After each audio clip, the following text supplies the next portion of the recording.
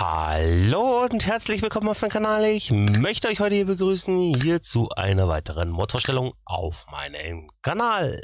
Ja, ich möchte euch heute hier diesen W50, ja, von IFA hier, hier handelt es sich um ein, ja, so eine Art Überladefahrzeug, ja, mit denen du hier tust du befüllen und kannst dann hier Beispiel Seemaschinen oder diverse Sachen natürlich hier dann beladen damit. Er kann hier soweit ich gesehen habe, hier die ganzen Standardfrüchte hier laden. Das ist schon mal ganz cool natürlich. Wäre Beispiel sowas, wenn du Beispiel hast, so Mod drin, wo du Beispiel hier, Beispiel, wenn du jetzt äh, Weizen hast, also geerntet und du möchtest wieder Weizen sehen, dass du zum Beispiel mit denen hier wieder Beispiel die Drille natürlich befüllen tust, natürlich. Ja, das wäre normal eigentlich Realismus, natürlich, das Ganze. Und ja, das gute Stück kostet hier 7200 Euro, so wie er da steht. Ja, wir haben hier Miete zu zahlen von 367 und ja, ich finde es schon mal, soweit ich gesehen habe, ein cooler Mod natürlich. Leider hier nicht für die Konsolen verfügbar, ist hier mit IC-Control verwendbar und das Ganze hier hat eine Leistung von 125 PS, entsprechend 92 kW. Manuelle Land äh, Schaltung, ja, ich bin ein bisschen zu schnell am Weg. Ja, und 80, also kmh und hat hier ein 10 1000 Liter oder 10 Kubik hier Ladevolumen. Das Ganze wiegt hier also Leergewicht von ja, 5,8 Tonnen. Wir haben hier also Reifen drei Stück an der Wahl. Jetzt haben wir hier eine Standardbereifung. Da gibt es hier Ganze hier noch, er steht hier Pflegebereifung. Ja, weil sie auch anders irgendwie ausdrücken können, also Reifen zweite Wahl oder sowas auf die Richtung. Und dann hier natürlich hier die Ballonreifen, wie wir hier sehen, das Ganze. Und dann wieder hier Standard natürlich.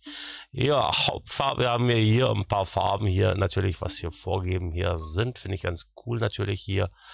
Also nicht immer das dasselbe natürlich, leider hinten, der bleibt immer gelb, ja, und natürlich Kennzeichen Wahl, so wie du es gewohnt bist. Ja, ich habe ihn jetzt zweimal gekauft, wie du ja siehst. Also einmal hier so, hier komplett, also mit also Abnutzung, wie wir hier sehen, und Verschmutzung finde ich gar nicht mal dermaßen übertrieben. Also Winterschutz hat da vorne ja keinen, habe ich leider gesehen, ja. Und hier haben wir schön auch noch drauf, hier W50 LA, also Lastkraftwagen soll das heißen. Und wir haben hier die Türe zu öffnen. Steige mal ein. Ja, wenn du das erste Mal in den drin bist, jetzt gehen wir mal in den anderen mal rein, dass ihr das natürlich dann sieht, was ich meine. Also, wir sind jetzt hier und dann gehen wir in die Innensicht. Dann zeigt uns das Ganze einmal nach hinten an, wenn du vorne drin warst. Da stimmen die Koordinaten nicht in der XML zu i3D und dann dreht es dich nach hinten. Ja, früher war das einfach nur in der i3D gespeichert. Und Giants hat irgendwann mal gedacht, er muss es auch noch in die XML natürlich hier eintragen. Ja, also wir können hier die Tür, wie du die siehst, ja, wenn wir sie offen haben, das Fenster auf und zu machen. Das Ganze ist mit Sound. Ich finde, das ist schon mal toll. Wir haben das einzige, glaube ich, das gleiche wie bei denen, bloß dass man bei denen die Spiegel, schauen wir mal, nein, die Spiegel, statt mal einmal Motor, mal schauen. Nein, die Spiegel ist das nicht, das ist das Rohr, was wir nachher anheben und das können wir können jetzt hier drüben natürlich auf und zu machen, hier auf und zu. Das Dachfenster, also die Luke können wir aufmachen. Ja, da fehlt der zweite Button und man kann es den auf beide Seiten hochdrücken. Die Sonnenblende kannst du rauf und runter tun, natürlich hier diese genauso. Dann haben wir einmal hier das Radio, wie du hier siehst. Dann können wir hier die Sender hier umschalten und natürlich hier wieder zurückschalten. Nein, möchte ich nicht. Dann hier natürlich ausschalten. Dann haben wir hier Blinker. Dann ist hier noch, wie du hier siehst, hast du einen Kippschalter. Das schauen wir uns dann auch natürlich dann draußen natürlich nachher noch an bei Nacht. Das Ganze, das hier sehen wir es leider jetzt nicht. Tja, jetzt gehen wir mal in die Außenansicht natürlich. Dann können wir mit also X einmal hier die Look aufmachen. Dann sieht man, ich habe den schon mal hier beladen mit Hafer.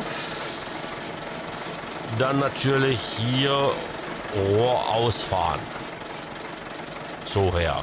Das werden wir dann nachher natürlich dann testen. Da fährt das Rohr dann so her aus. Entsprechend natürlich. Du kannst es rauf und runter fahren.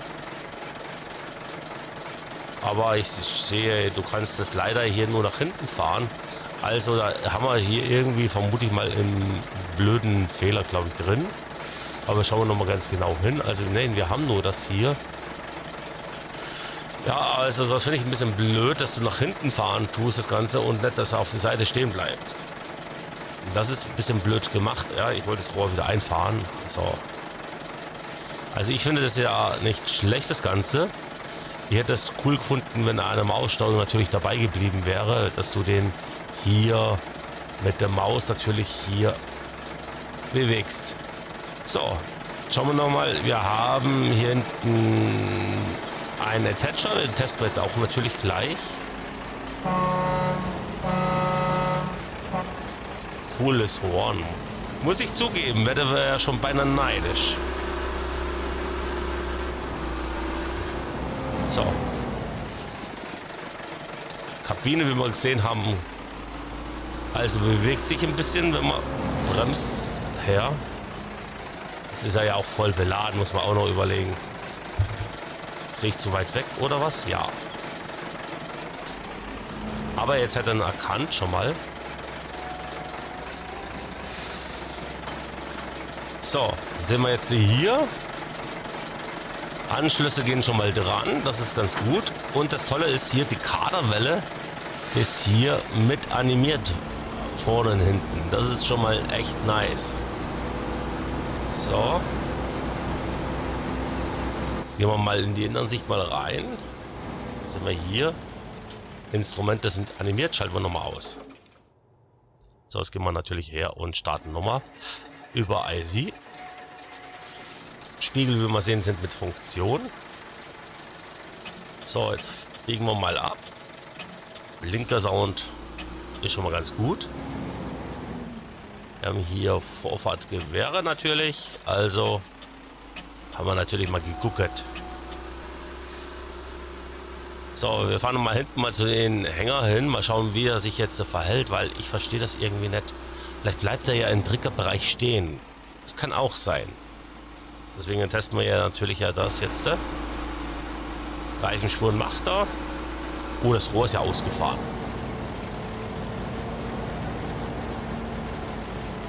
Hm.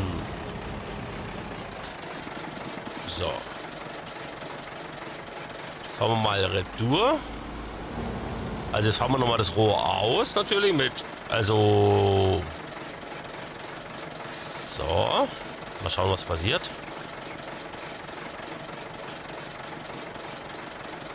Was sie da gemacht haben. Also so her schon mal scheint das nicht so zu funktionieren, wie ich gedacht habe. Gedingsdacht, ja. Also man kann es jetzt zwangsabladen. Also das finde ich ein bisschen, das haben sie blöd gemacht. Wenn wir sehen, also funktioniert das ja. Aber wer will das jetzt so rückwärts ranfahren, wenn ich den Arm nach links schwenken kann? Oder vielleicht sogar nach rechts, vielleicht gehen würde her. Das ist wieder eine Sache, was ich finde, das haben die irgendwie nicht durchdacht, denke ich mir. Ja, wir sehen, wir haben hier nur eines, also für rauf und runter. Ja, das ist schon mal so eine Sache für sich.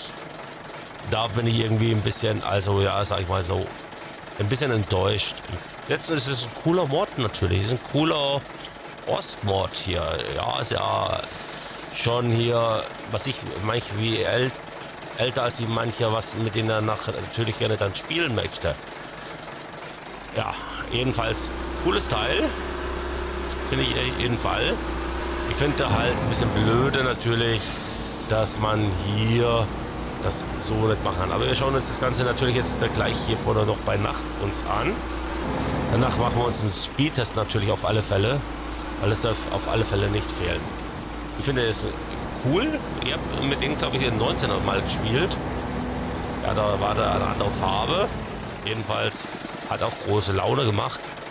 Ja, Blinker, wie wir mal sehen, hier funktioniert schon mal. Das Ganze, eine gute Reflexion. Jetzt hier mit Numbit 6. Numbit 5 geht jetzt gar nicht. Einmal F schalten. Zweimal, dreimal. Jetzt gehen wir noch in die Innenansicht mal rein, weil wir wollen ja natürlich hier... So.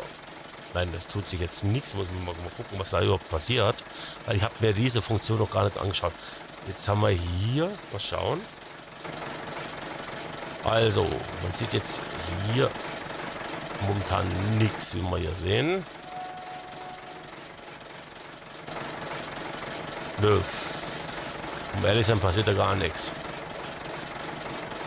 So von Licht her jedenfalls.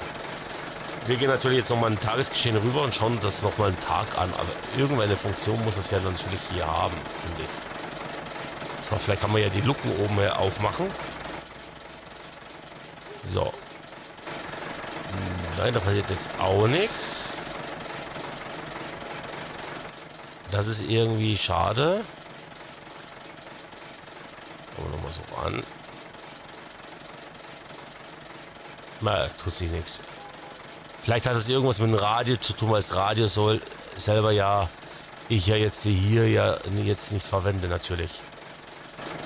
So, das machen wir unseren Speedtest wie versprochen. Weil ähm, mit der Musik, das lasse ich daher, weil zwecks der GEMA natürlich.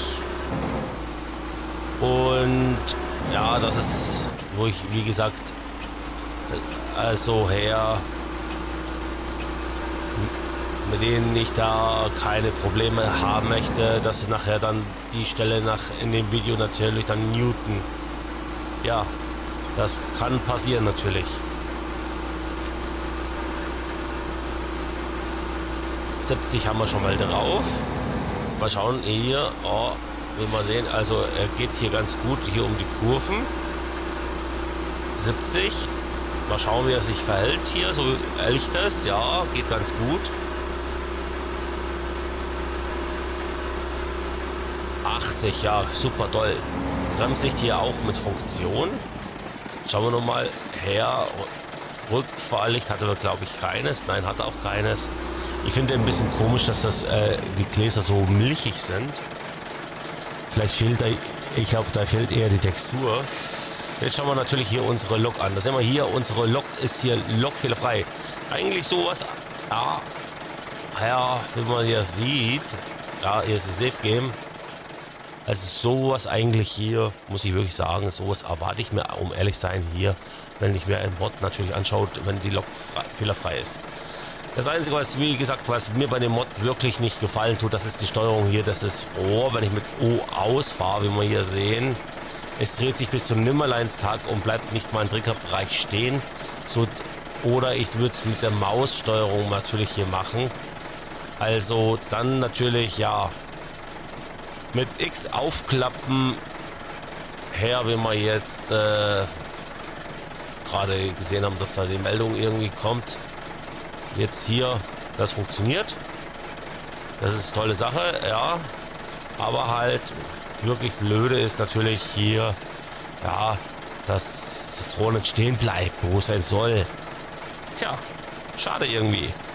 Ich hoffe, euch hat trotzdem hier mein Video natürlich gefallen. Wenn es dir gefallen hat, würde ich mich freuen, wenn du wieder reinschaust. Hiermit sage ich schon mal Dankeschön fürs Zuschauen. Bis zum nächsten Mal. Euer Franz. Ciao, ciao.